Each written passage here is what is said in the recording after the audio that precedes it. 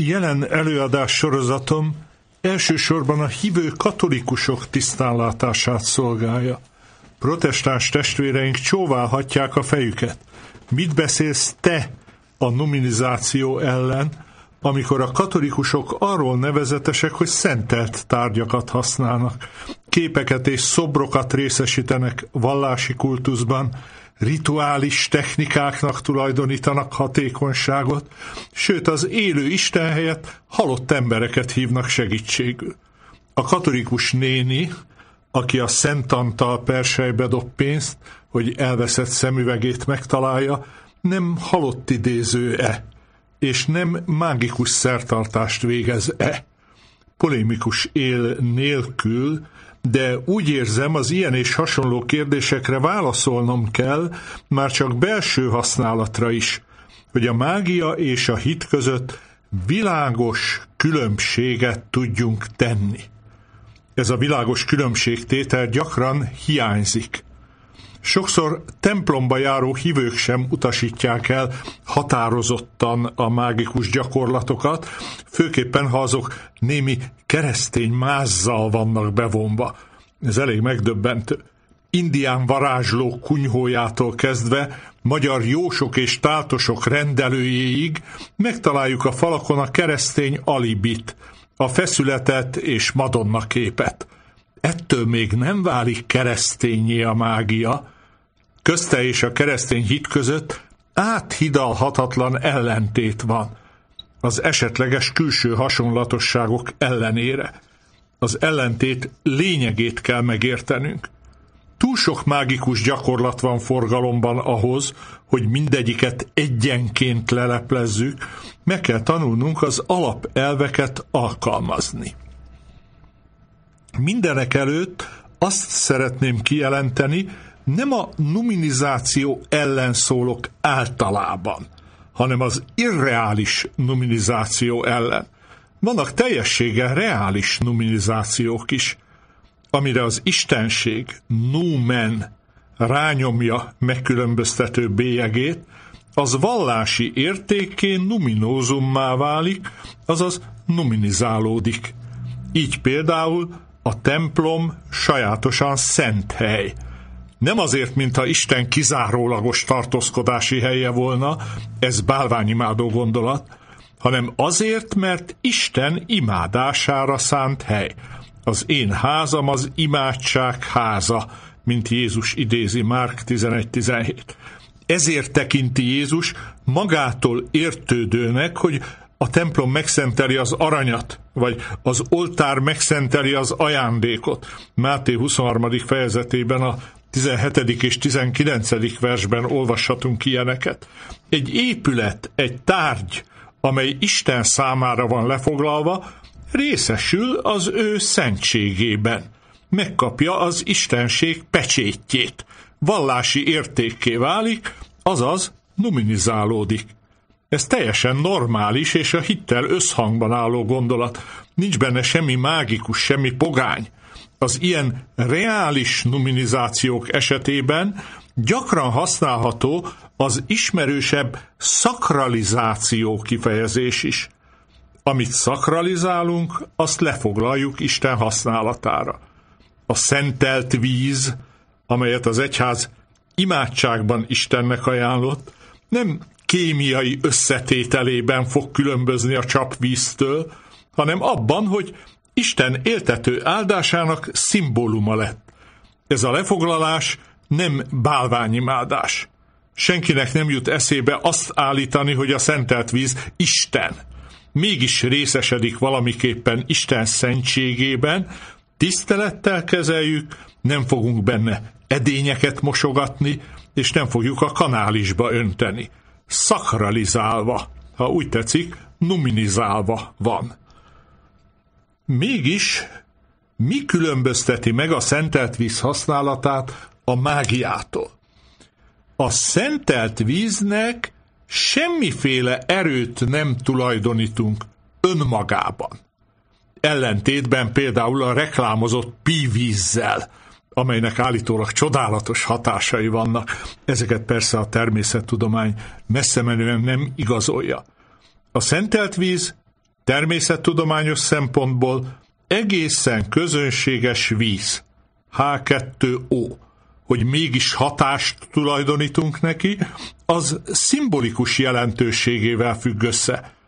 A víz a Bibliában az élet szimbóluma, hiszen a víz szegény bibliai tájakon egy-egy forrás vagy kút számos ember és állat életét segített fenntartani. Az isteni élet, amelyet Jézus Krisztus ajándékoz nekünk, a vízben nyer szimbólumot. János 7.37, ha valaki szomjazik, jöjjön hozzám, és igyon mindenki, aki hisz bennem. Jelenések könyve 22. fejezet 17. vers, aki szomjazik, jöjjön, és aki akarja, merítsen ingyen az élet vizéből.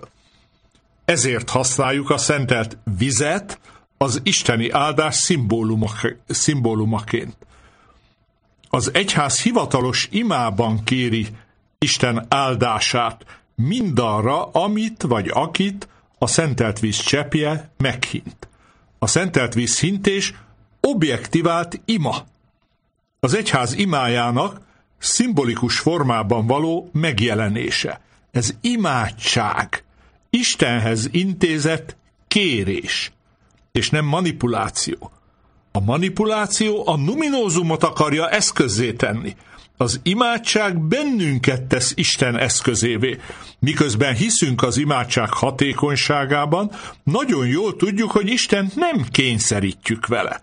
Ellenkezőleg az imádságban oly módon szolgáltatjuk ki magunkat neki, hogy rajtunk keresztül megtehesse, amit akar.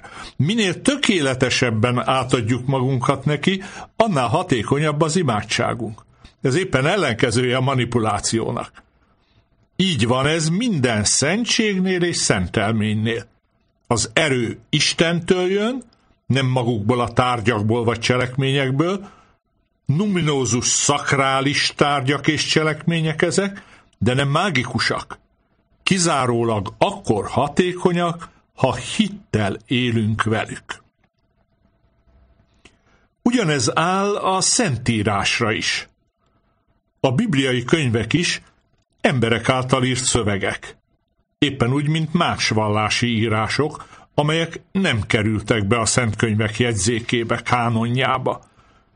Meggyőződésünk azonban az egyház kezdetétől fogva, hogy a történelemben működő Szentlélek fölhasznált emberi szerzőket hitünk tartalmának írásba rögzítésére. És ezért szakrálisnak, szentnek, Istentől sugalmazottnak, numinózumnak, vallási értéknek fogadjuk el az Ószövetség és az apostoli kor azon írásait, amelyekben az egyház fölismeri saját hitének zsinór. Az emberi fogalmazás korlátai és tökéletlenségei ellenére Isten maga szól hozzánk a szent könyvekben. A Biblia nem Isten, de Isten szava, ezért különleges helyet foglal el értékrendünkben. Ez a reális nominizáció minden további nélkül kiterjedhet személyekre is. Az ószövetségi profétákat gyakran nevezik Isten emberének, a királyt pedig az Úr fölkentjének. Sőt, Elizeus profétáról azt olvassuk, hogy halála után egy holttestet az ő sírjába visznek, s a halott életre kell, amikor Elizeus teteméhez ér. A királyok második könyvének 13. fejezete tartalmazza ezt a 21. versben. Amikor mi katolikusok egyes hívőkről haláluk után azt mondjuk, hogy szentek, hogy üdvözültek, és közbenjárásuk hatékony, kétségkívül numinizáljuk őket, de ezzel semmi más nem teszünk, mint amit a Szentírás is tesz, amikor egyes személyeket kiemel Istenhez való különleges közelségük miatt. A szenteket nem imádjuk, nem tévesztjük össze Istennel. Ez vonatkozik a boldogságos Szűz Máriára is, akit kiemelkedő módon tisztelünk, de nem imádunk. Ő is teremtmény. Nem istennő, és nem is félisten. A szentekhez való imádkozás nem imádás, hanem közben járásuk kérése. Imádkozzál érettünk bűnösökért. Így mondjuk az üdvözlény Máriában annak, aki áldott az asszonyok között. Tehát a közben járása biztos, hogy különlegesen hatékony. A szentek erekjéi, földi maradványai vagy tárgyai egyszerűen személyük szimbólumai. Mint ahogy az említett esetben sem Elizeus holtteste gyógyít, hanem az az isteni erő, illetve nem Elizeus holteste támasztja föl a halottat, hanem az az isteni erő, amely Elizeus közbenjárására földi élete során is csodákat művelt. És halála után sem szűnt meg kitüntetni Isten emberét. Az a protestáns felfogás, amely a szentek kultuszát halott idézésnek minősíti, összefügg azzal a szemlélettel, hogy a holtak alusznak, és csak majd Jézus második eljövetelekor ébrednek föl. Ezt azonban a Biblia nem támogatja. A halált igaz gyakran nevezi elszenderülésnek, elalvásnak, mert hisz a föltámadásban. Hisz abban, hogy a halottak még talpra fognak állni. De amikor Jézus a Lázár nevű koldus üdvözült sorsáról beszél, nem alvónak ábrázolja őt, mint ahogy az elkárhozott gazdag embert sem, Lukás 16. fejezetben vannak ezek, a 19-től a 31. versig. A szívtelen gazdag kínja és Lázár vigasztalódása egyaránt a halál után mindjárt bekövetkező valóság, hiszen a gazdag testvérei még élnek a földön, amikor ő Ábrahámmal beszél. Hasonlóképpen nem alvásra utal az a paradicsom, amit a bűnbánó gonosztevőnek Jézus ma megígér a kereszten, Lukács 23.43-ban. Egy Jehova tanútól hallottam azt a képtelen konstrukciót, hogy Jézus szavában bizony mondom neked, ma velem leszel a paradicsomban, a ma szó a bizony mondom nekedhez olvasandó. Bizony mondom neked ma, velem leszel a paradicsomban. Annyi igaz, hogy a bibliai szövegben eredetileg nincsenek írásjelek. Így azokat nekünk kell értelemszerűen elhelyezni. Továbbá az is igaz, hogy a fordítók által gyakran belehelyezett még szó nem létezik az eredeti szövegben. Nem még ma áll benne, hanem egyszerűen csak ma. De mi értelme volna annak, hogy mondom neked ma?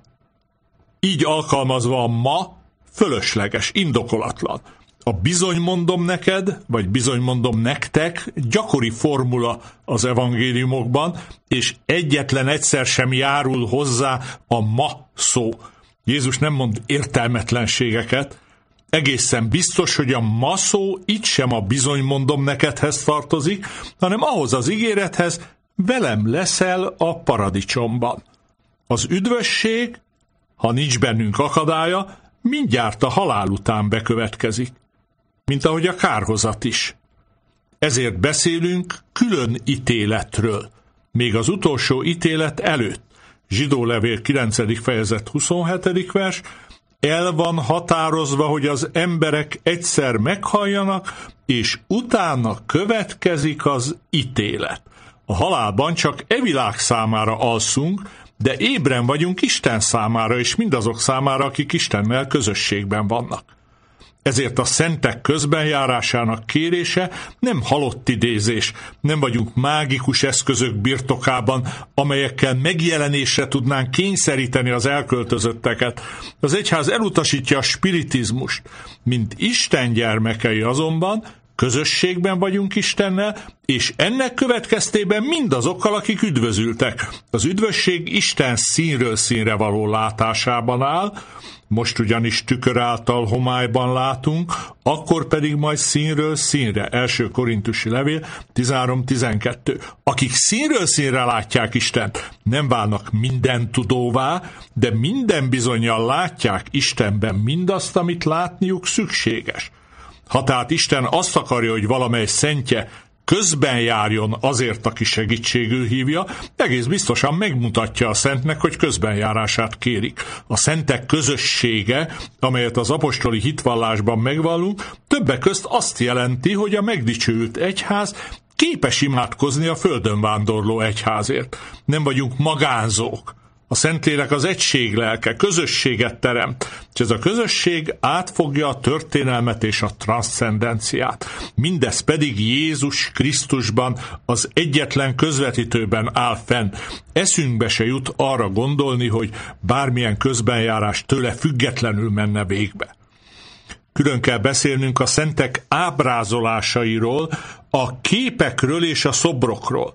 Először tekintsük át a részkígyó bibliai történetét. A számok könyvében, Mózes negyedik könyvében Isten tüzes kígyók marásával bünteti a zúgolódó Izraelt a pusztában. Mikor azonban a nép bűnbánatot tart, Isten egy részkígyó készítésére utasítja Mózest.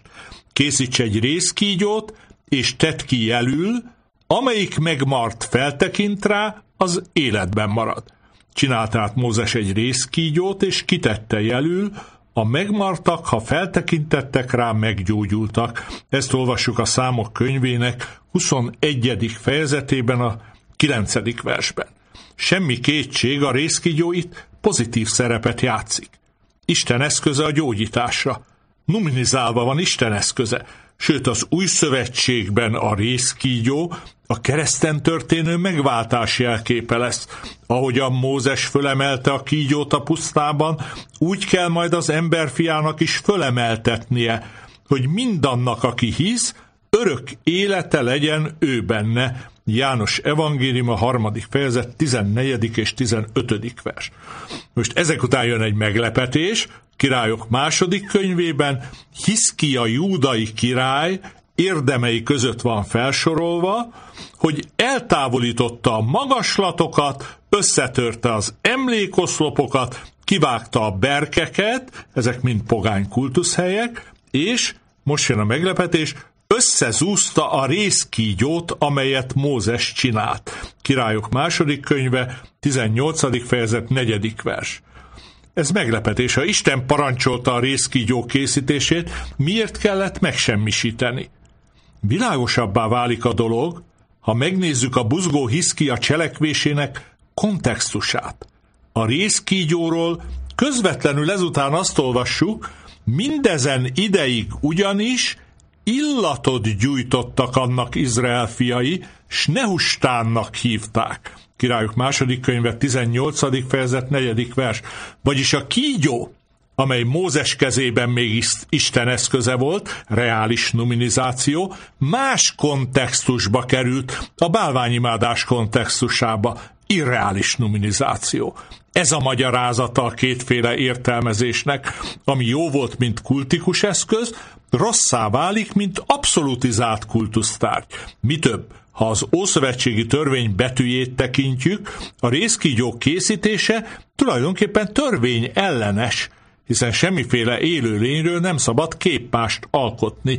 Második törvénykönyv 5. fejezet 8. vers, ne készíts magadnak faragott képet, se hasonmást, semmiről, ami fenn az égen vagy lenn a földön van, vagy a föld alatt a vizekben lakik.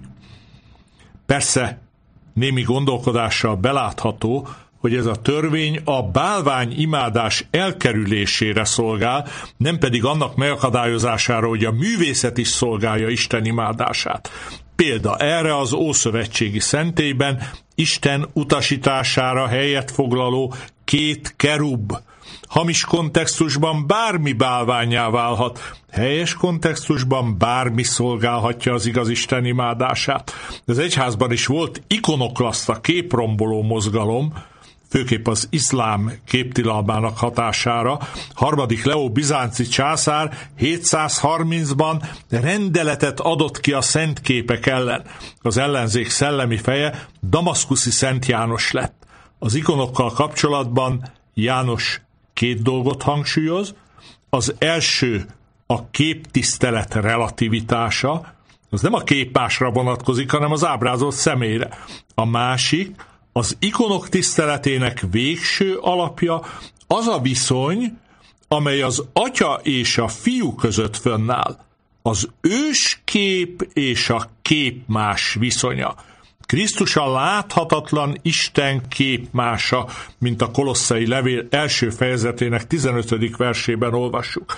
Aki őt látta, az atyát látta. János 14.9.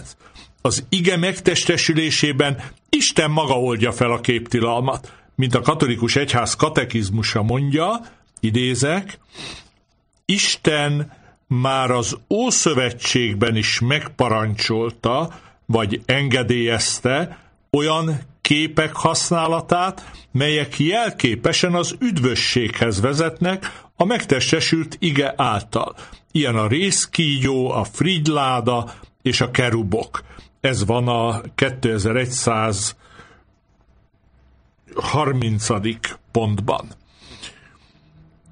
A katekizmus szerint az ószövetségi képtilalom pedagógiai eszköz volt a bálványimádás ellen.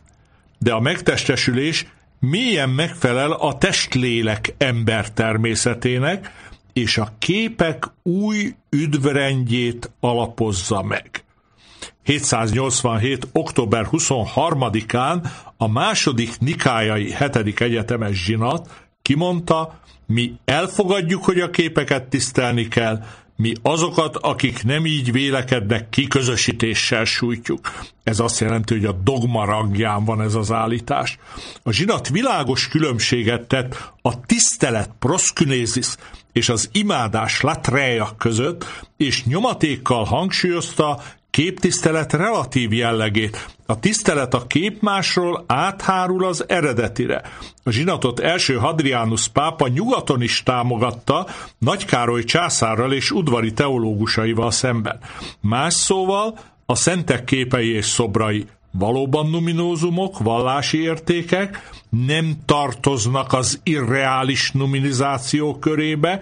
Nyugodtan mondhatjuk tehát, hogy sem a szentségekben, sem a szentelményekben, sem a szentek tiszteletében nem foglaltatik mágikus elv.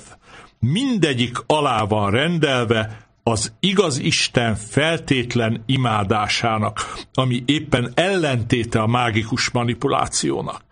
Nem szabad azonban megfeledkeznünk arról, hogy az ördög nem csupán a rossz dolgokban működhet, hanem a jó dolgokat is eltorzíthatja. A katekizmus tartalmaz egy nagyon komoly figyelmeztetést, ez a 2111. pontban van, és így hangzik. A babona, a vallásos érzés és a vallásból következő gyakorlat elhajlása érintheti az igaz Istennek bemutatott tiszteletet is, például amikor valamilyen mágikus jelentőséget tulajdonítunk egyes cselekményeknek, melyek máskülönben helyesek és szükségesek. Ha az ima vagy a szentségi jelek hatékonyságát egyedül fizikai valójuknak tulajdonítjuk, és tagadjuk a belső irányultság szükségességét, a babona vétkébe esünk. Bármely kultusztárgy juthat az oszvetségi részkígyó sorsára. Válhat manipulatívvá az ima. Lehet mágikus a szentségek és szentelmények felfogása. Fajulhat bálványimádássá a boldogságos szűz vagy más szentek tisztelete, ikonjaink és szent szobraink bálványként önállósulhatnak, az emberi természettel együtt járó kísértés, hogy a láthatót és foghatót részesítsük előnyben a szellemi valósággal szemben, a manipulációt az alázatos imával szemben. A katolikus teológia védeni tudja az egyház hitét, de nem mindig tudja védeni a katolikus hívek gyakorlatát. A lelkipásztornak ébernek kell lennie, mert itt is, ott is részkígyók ütik fel a fejüket. Nem szabad engedni, hogy Isten tiszta igazságának helyét mágikus gondolkodás vagy fantaszta álmisztika foglalja el. A mágikus gondolkodás groteszk szemléltetése Babisnak az a novellája, amelyben egy hajdankori vitéz húsába nőve viseli azt az erekét, amelyet egy csákányütés egy darab páncéllal együtt sebébe szakított. Ezt nem veszítheti el? Tehát gondolja, örökké kell élnie, mert nagy gazember létére nem üdvözülhet, az erekével viszont nem kárhozhat el. Nem olyan rég levelező listán komolyan képviselte valaki azt az abszurd véleményt, hogy a betegek szentsége bűnbánat nélkül is megadja a bűnök bocsánatát.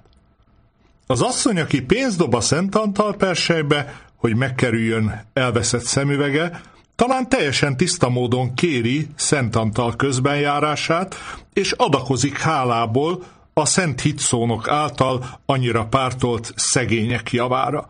De az sincs kizárva, hogy meg akarja vesztegetni a szentet, ami már a részkígyó kategóriába tartozik. Az év elején makacs hörkurutom láttán diplomás ember adott nekem egy tea receptet, melyet állítólag a szűzanya nyilatkoztatott ki. Nemrég egy idős hölgy jött hozzám, és közölte, hogy az úr mondta neki, jövő szerdán megtörténik a büntetés. Az a jövő szerda elmúlt már, és nem esett tűzeső az égből, ám megérkezett ismét a néni újabb hírekkel a mennyből. Az emberek fantazmagóriáikat numinizálják. Tűzeső helyett részkígyó eső esik. Még egy példa, bár ez nem tisztán katolikus, a magyar korona ügye. Néhány éve még én is szent koronát mondtam, a nacionalisták szoktattak le róla. A magyar koronázási szertartás katolikus szentelmény volt. A korona kultikus tárgy. Szakralizációja ennyiben teljesen legitim. A szentjelző tehát helyes értelemben alkalmazható lenne a koronára, ha újabban nem kezdtek volna mágikus jelentőséget tulajdonítani neki, természet fölötti erőt, titokzatos sugárzást, misztikus hatékonyságot. Itt belépett egy irreális numinizáció, egy részkígyó effektus, amelyel a hívő kereszténynek és minden hazáját józanul szerető magyarnak tiltakoznia kell. Ez járul a Szent Koronatan fölélesztése, amely szerint a magyar állami felségjogok birtokosa nem az uralkodó, vagy államfő, vagy parlament, vagy bármilyen kormányzó testület, hanem maga a korona, a tárgy. Ezt képtelenségnek tartom. Tárgy nem lehet jogalany, csak döntésre képes entitás, természetes vagy jogi személy, tehát ember vagy testület lehet jogok birtokosa. A koronát, ahogy mágikus erővel, ugyanúgy jogokkal sem indokolt fölruházni. A korona szimbólum. A magyar államiság objektivált és történelmileg jogosult kifejezése, és mint ilyenre tisztelettel kell tekintenünk rá, ez a tisztelet azonban nem vallási áhítat. Koronánk helye a parlamentben van, nem a múzeumban, de nem is az oltáron. Egyedül Istennek adjuk meg azt, ami Istené.